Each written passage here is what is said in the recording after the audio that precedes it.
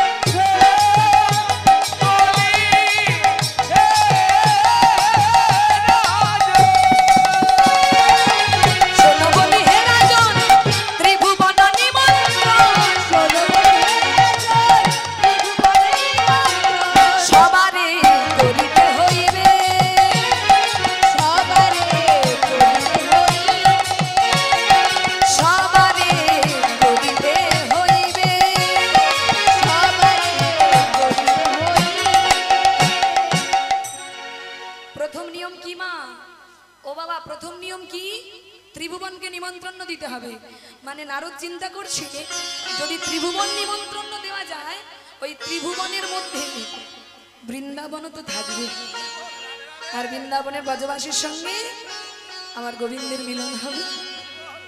তাই ত্রিভুবনকে নিমন্ত্রণ করতে হবে, এটা হলো প্রথম নিয়ম। আর দ্বিতীয় নিয়ম কি জানো? যে যা চাইবে তাই দেবে, সবার আশা মিটাইবে।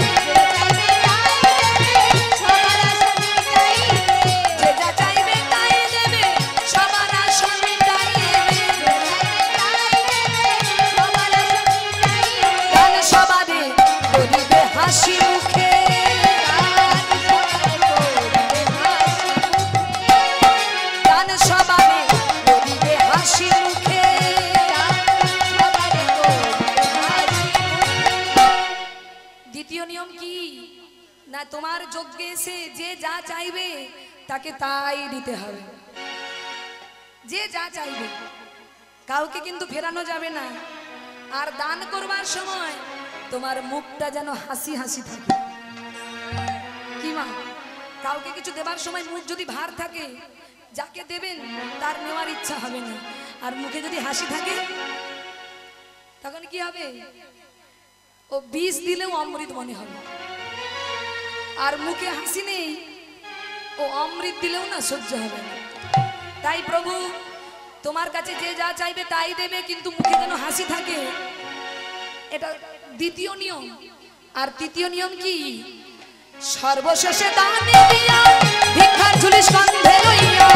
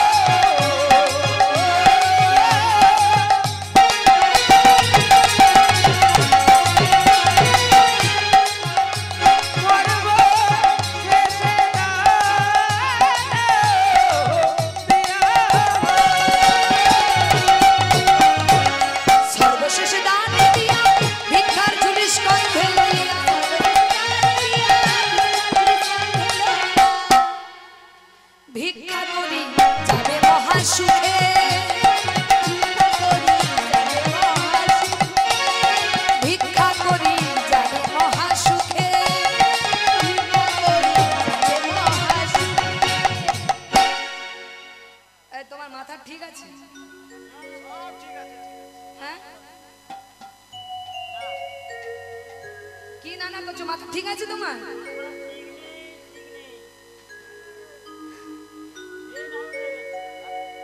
ও মাই, ভগবান বলছে, নারদ, তোমার মাথা ঠিক আছে তো?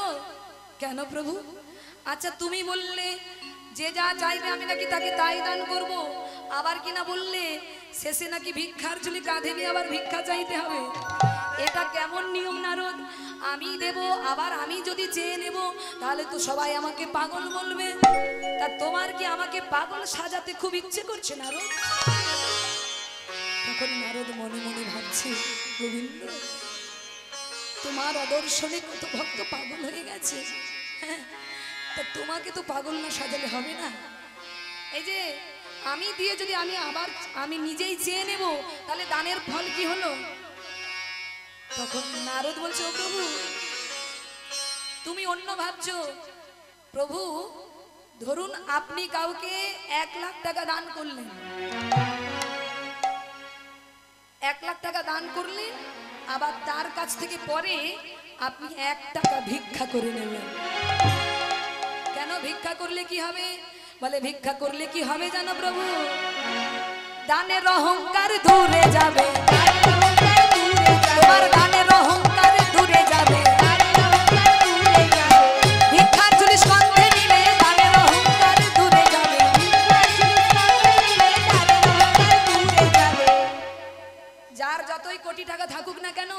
ভক্ত সেবা, গোবিন্দ সেবা দিতে গেলে অন্তত পাঁচ তাকে ভিক্ষা করে দিতে হবে। আর ভিক্ষা করে সেবা না দিলে ওই সেবা গোবিন্দ গ্রহণ করে না। কেন? না, ওই সেবার মধ্যে অহংকার যুক্ত থাকবে। কারণ আপনার তখন মনে হবে, আমার মতো সেবা কেউ দিতে পারে না, আমার মতো গোবিন্দ সেবা কেউ পারে না। আর এই অহংকার যদি যুক্ত হয়ে যায়, তাহলে গোবিন্দ সেবা থেকে বঞ্চিত। তাই যার যতই কোটি টাকা থাকুক না কেন, অন্তত পাঁচ বাড়ি হোক, এক বাড়ি হোক, বা দশ বাড়ি হোক, ভিক্ষা করে গোবিন্দ সেবা দিতে হয়। নিতাই গৌর হরি। তাই গোবিন্দ, তুমি রাজা। তুমি তো রাজা, তোমার মধ্যে অহংকার থাকতেই পারে যে আমার মতো দান বুঝি কেউ দিতে পারবে না। তাই গোবিন্দ, দানের শেষে তোমাকে ভিক্ষার ঝুলি কাঁধে নিয়ে ভিক্ষা করতে হবে। তবেই তোমার দান করা সার্থক হবে। তাই বল। ঠিক আছে? তাহলে বলো নারদ, তুমি যখন ত্রিভুবন নিমন্ত্রণ করবার কথা বললে ত্রিভুবন তো নিমন্ত্রণ হবে, কিন্তু ত্রিভুবনের ভক্তরা এসে থাকবে কোথায়? এই দ্বারকার রাজপ্রাসাদে যজ্ঞ করলে তার হবে না। এত ভক্ত তো ধরাতে পারব না। তাহলে কোথায় হবে? বলে, কেন? প্রভাসের তীর্থে। প্রভাস নদীর তীরে যজ্ঞ করতে হবে। এই প্রভাস নাম ছিল সোম তীর্থ প্রভাস কি করে হলো? আজ আর বলব না, অনেক বেলা হয়ে গেছে। ওই তিনটে বাজতে যায়, এখন অনেক দূর এগোতে হবে। আবার দেখা হলে বলে যাব। তাই গৌর, হরি বল। তাই প্রভাসের তীরে তোমায় যজ্ঞ করতে হবে। তাহলে নিমন্ত্রণটা কে দেবে? ও নারদ, তুমি তো বেশ আনন্দে নেচে নেচে বলে দিলে যে ত্রিভুবনকে নিমন্ত্রণ করতে হবে। তা ত্রিভুবনকে নিমন্ত্রণ কে দেবে? কে দেবে নিমন্ত্রণ? নারদ বলে, আমি থাকতে আপনার আবার চিন্তা কি? আমি ত্রিভুবন নিমন্ত্রণ করব। তাহলে বেশ।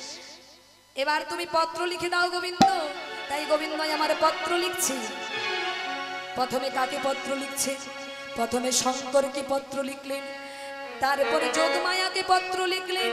তারপরে গণেশ, কার্তিক, লক্ষ্মী, সরস্বতী সবাইকে পত্র লিখলেন। পাতালে বাসুকীনাথকে পত্র পাঠালেন। স্বর্গের সমস্ত দেবতাকে পত্র লিখলেন। এবার পত্র লিখে যেই না নারদের হাতে দিতে গিয়েছে। অমনি বলরাম বলে, দেখি ভাই, তুই কেমন পত্র লিখেছিস? তুই কার কার জন্য পত্র লিখেছিস?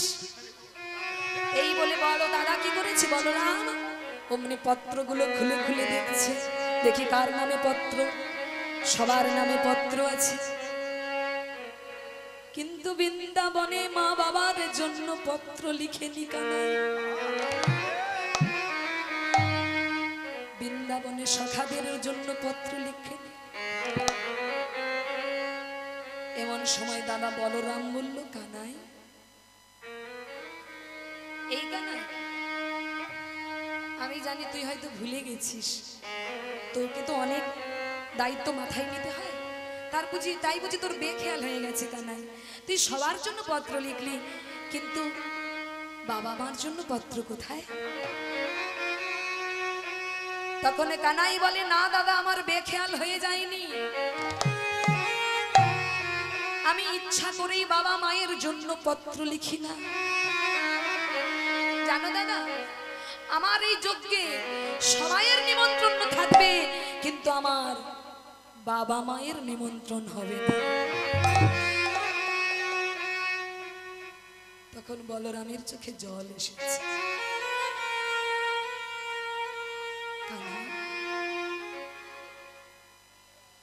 তুই এ কথা বলতে পারলি? তুই বাবা মাকে বাদ দিয়ে যজ্ঞ করবি? তুই মা বাবাকে বাদ দিয়ে এত বড় যজ্ঞ করবি?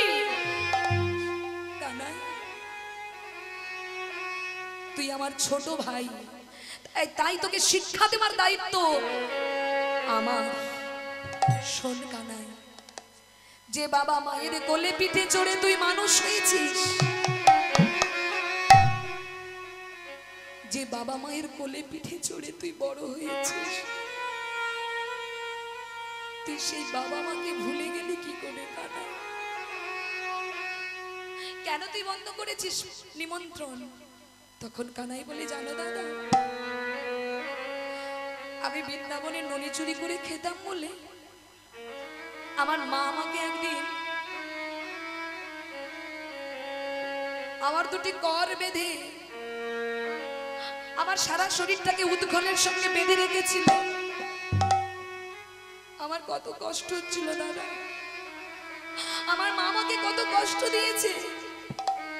আমাকে চোর বলে আমাকে উৎকলের সঙ্গে বেঁধে রেখেছিল। আমার মা আমাকে কত শাসন করেছে।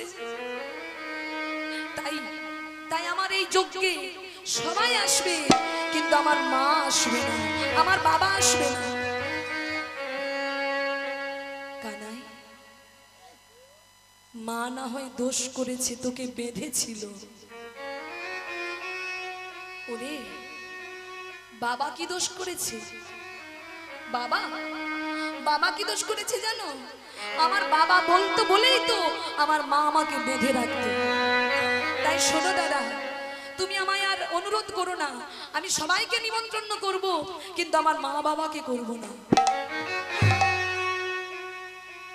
বলরাম বলল কানাই। বাহ। মা তোকে শাসন করেছে। মা তোকে শাসন করেছে, তুই সেটা মনে রেখেছিস।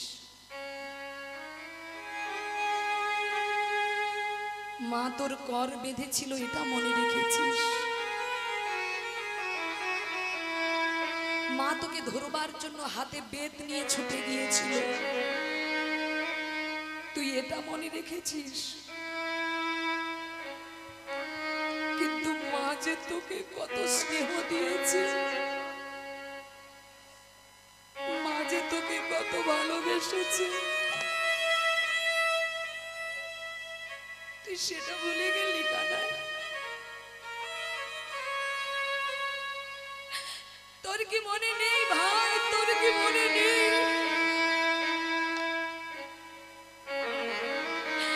গোচারণ থেকে আসতে দেরি হলে মা পথ পানে তাকিয়ে বসে থাকতো কখন তুই একবার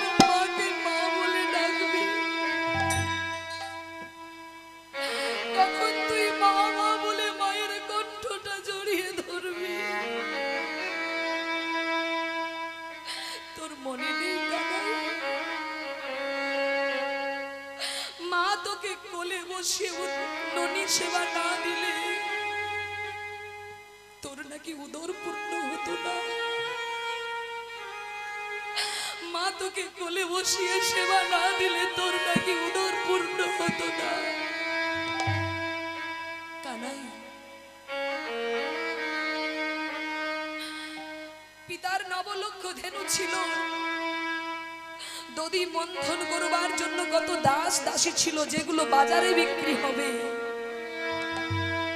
যেগুলো বাজারে করা, বাজারে বিক্রি করবার জন্য যেসব ক্ষীর, স্বর্ণ, নিছানা মাখন বানানো হতো, সেগুলো দাস দাসী দিয়ে মা বানাতো।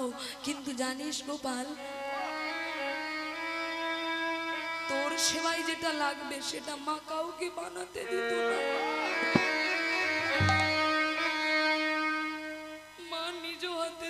জন্য।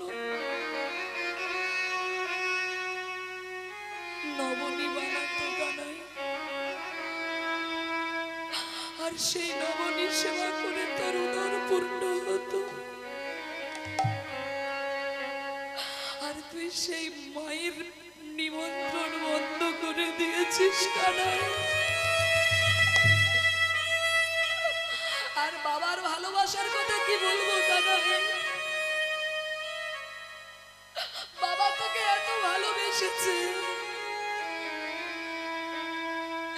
গোপাল ছাড়া সে কিছু জানে না, কিছু বোঝে না। যেদিন যেদিন তুই বৃন্দাবনে, যেদিন তুই বৃন্দাবনে রাধারানীর কলঙ্ক মোচন করবার জন্য, যেদিন তুই ইচ্ছা করে মূর্ছা হয়ে পড়ে গিয়েছিলিস, সেদিন নন্দ মহারাজ তোর জন্য পাগলের মতো হয়ে গিয়েছিল।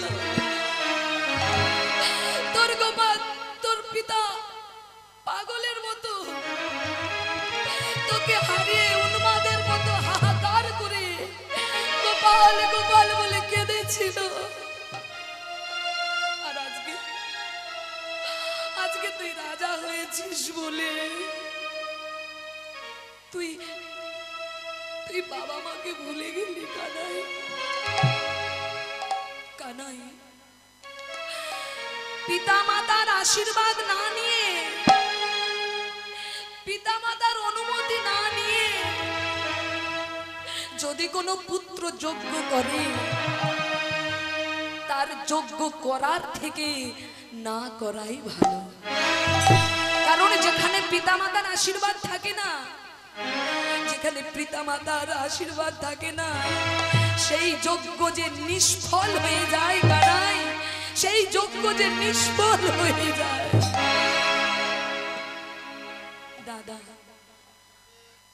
আমি মা বাবাকে নিমন্ত্রণ করব না।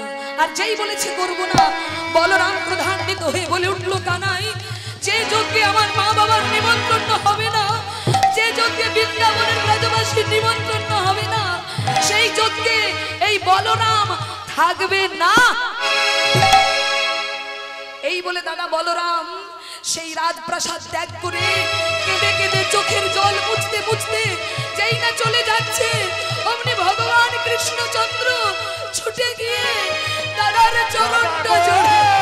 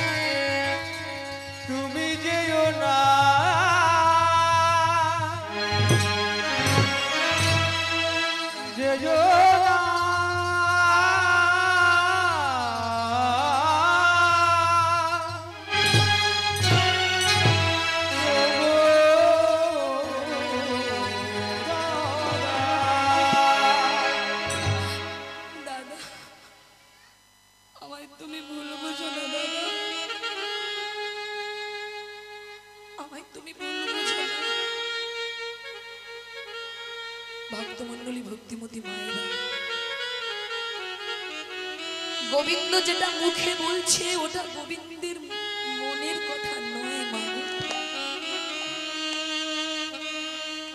যিনি ভগবান, তিনি কি এই ভুলটা করতে পারেন তিনি যে জগৎকে শিক্ষা দেবার জন্য হে জগতের যে, তোমরা যে যাই কর্ম করো, যেন বাবা মাকে বাদ দিয়ে করো না।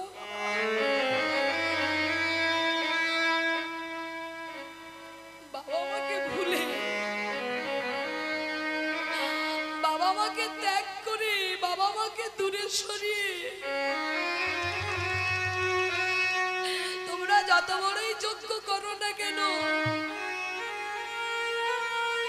সেই যোগ্য যে নিষ্ফল হয়ে যায়। আর যদি কেউ সব ভুলে বাবা মায়ের সেবা করে, সে যে হাজার যজ্ঞের ফল লাভ করে, নিতাই গৌর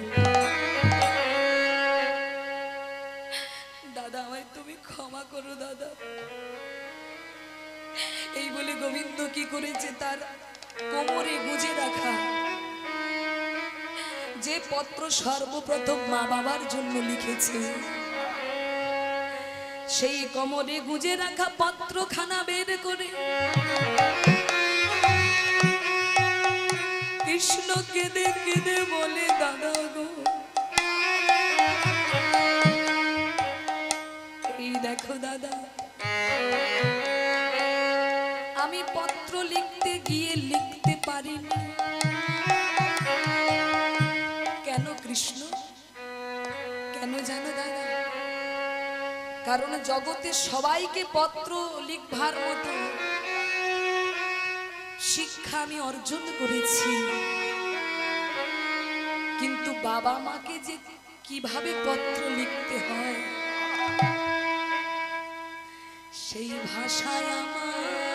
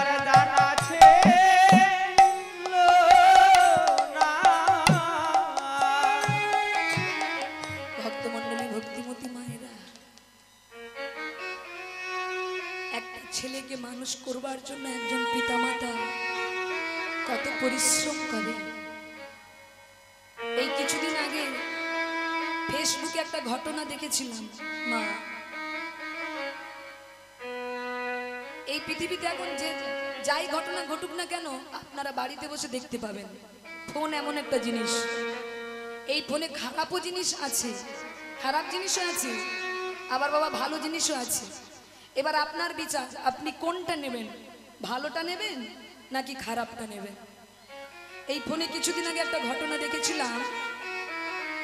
এক পুত্র চাকরি করে, সে কি করেছে? তার বৃদ্ধা মাকে, বাবা নেই। বৃদ্ধা মাকে স্টেশনে ফেলে রেখে গেছে। স্টেশনে বৃদ্ধা মাকে ফেলে রেখে ছেলে চলে গেছে। তথাপিও সেই ছেলেকে যখন সাংবাদিক যারা, তারা যখন জিজ্ঞাসা করছে, সে কিন্তু ছেলের নামে একবারের জন্য নালিশ করছে কারণ মা জানে কুপুত্র যদ্যপি হয়, কুমাতা কখনো নয়। আমাকে দূরে ঠেলে আমার সন্তান যদি সুখে থাকে, তাতে তো আমার সুখ। এমনও পুত্র হয় গো জগতে যে কিনা তার গর্ভধারিণী মাকে অজানা অচেনা জায়গায় ফেলে দিয়ে চলে যায়। এমন পুত্র তো বাজার থেকে মরে যাওয়াই ভালো। মা যখন তোমাকে গর্ভে ধারণ করেছিল, শত বিপদকে উপেক্ষা করে মা তোমার মঙ্গল কামনা করে গেছে। তোমাকে বড় স্কুলে পড়াবার জন্য মা তোমাকে পরের বাড়িতে চাকরগিরি করে তোমার টিউশনির, তোমার স্কুলের পয়সা জোগাড় করেছে। আর সেই মাকে তুমি আস্থা করে ফেলে দিয়ে চলে যাচ্ছ। এই হলো শিক্ষিত সমাজ কলিযুগে বাবা। যারা মা বাবাকে সম্মান করতে পারে না তারা আবার গর্ব করে বলে আমি শিক্ষিত। হ্যাঁ, এমন শিক্ষার প্রয়োজন নেই গো। এমন শিক্ষিত ছেলের দরকার নেই যে শিক্ষা বাবা মাকে দূরে ঠেলে দেয়। আজকে গোবিন্দ বলছে? দাদা, আমি মা বাবার জন্য পত্র লিখেছি, দাদা। তুমি একটু দেখো। অমনি বলরাম কানাইকে বুকের মাঝে জড়িয়ে ধরেছে।